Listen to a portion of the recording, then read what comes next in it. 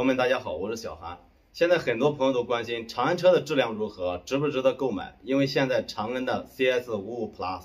还有这个七五 Plus、UNI K 啊卖的都非常好，好多人都想买，但是担心质量问题。那今天呢，咱们就聊一聊长安车。我最早接触长安呢是长安之星啊，在零几年的时候啊，刚进修理厂当学徒。那当时这个长安之星啊是第一代的，卖的非常贵，它的车价呢将近十万块钱。但是这个长安之星啊，其实不能代表长安的技术，因为它是长安铃木啊，所以这个发动机底盘还有变速箱呢，基本上都是铃木的，质量呢是非常非常稳定的。那到后期啊，长安之星经过了改款，很多重要的部件，比如说发动机、变速箱呢，都换成了咱们国产的，发动机呢变成了四六五的发动机。那这个时候啊，这个长安之星的质量就没有那么好了。但是这些呢，都代表不了长安现在的技术质量到底如何。今天刚好维修了一台长安悦翔 V7，是一六年的车，这个年份呢就比较近一点，也能代表长安近几年出的车型它的质量如何。还有大家最关心的长安车生锈问题，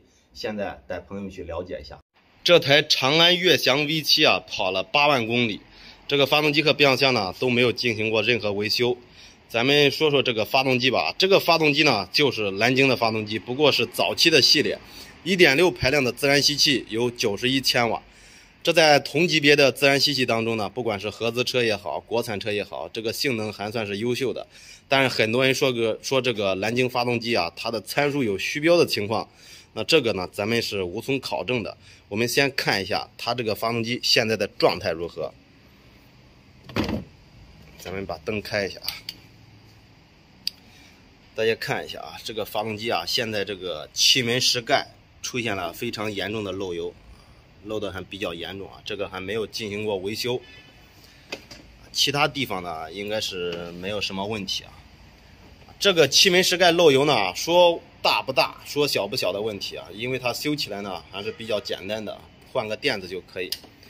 而且这个车呢现在有烧机油的情况，机油现在已经缺少。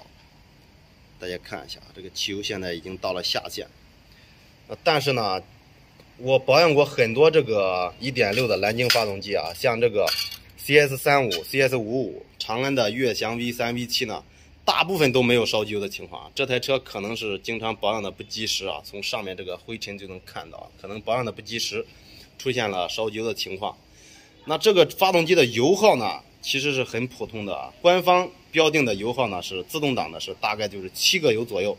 但是这个车配的自动挡是一台四 AT 的手自一体变速箱，这个 AT 变速箱啊本来都比较费油，再加上它是一台四 AT 的手自一体的变速箱，这个油耗呢绝对是不止七个油的啊。很多朋友开这个车啊都把这个油耗跑到十个油，实际油耗啊朋友们。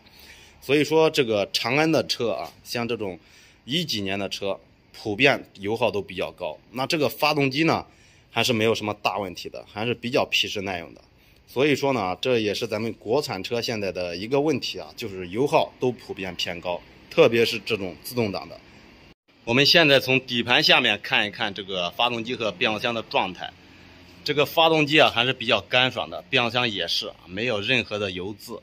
只有这个发动机上面这个气门室盖出现了漏油，底下呢还是比较干爽的。所以很多朋友担心咱们国产车时间一久会出现漏油漏水，啊，这些都是十年前的事情啊。现在咱们国产车漏油漏水的非常少，漏油漏水啊，现在是德系车的专利，咱们国产车呢大部分都是不会的。所以这个车六年的时间呢，能保持这样的状态啊，说明这个制造的质量还是非常不错的。那咱们再看一看这个底盘方面啊。我们国产车的悬架结构啊都是非常相像的，像这个二十万元之内的车，前面都是这种麦弗逊式的底盘结构，而且好多东西的设计构造啊几乎都是一样的，所以在底盘方面没有什么特别之处。这个底盘下面也是比较平整的，该包裹的线束啊，还有这个油管呢都给包裹起来，还是不错的啊。这个后边的悬架呢是一个。非独立的一个扭力梁的悬架，这种结构还是比较稳定的，基本上是不容易坏的。那大家最关心的国产车还有一个问题呢，就是生锈问题，特别是这个长安车生锈问题啊，好多人都关心，因为前些年这个长安车确实锈的非常厉害啊，特别是下面这个门槛啊这个位置，锈的非常厉害。但是近些年啊，生锈的问题我见的非常非常少，几乎没有见过。像这个车，现在六年的时间啊，基本是没有锈的。如果放在十年前出的车型啊，六年时间，这个底盘下面绝对会生锈啊，特别是这个位置啊，特别是这个位置绝对会生锈。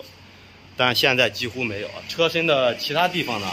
也没有发现什么锈迹。现在长安车车身的防锈水平和其他的国产品牌都差不多。不像十年前出的车型啊，生锈非常的厉害。那像发动机、变速箱呢，一些小问题还是有的。像这个发动机啊，跑了八万公里，气门室盖就已经漏油。但是这个问题呢，维修起来还算便宜。而且国产车总体它的维修价格呢，要比合资车要便宜，因为它车身上的一些部件啊，它的国产化率要比这个合资车呢要多很多。所以价格呢就比较便宜，但是长安车它的自动挡车型，特别是配这种 AT 变速箱的车子，油耗呢都普遍偏高。其实很多国产车呢也存在这种问题。那像这个长安车啊，整体质量还是可以的，质量还是比较稳定，小问题呢也还是有的。好，朋友们，今天这个视频呢就到这里，喜欢小韩的视频就给小韩点赞、转发、加评论，谢谢大家观看，请关注小韩，再见。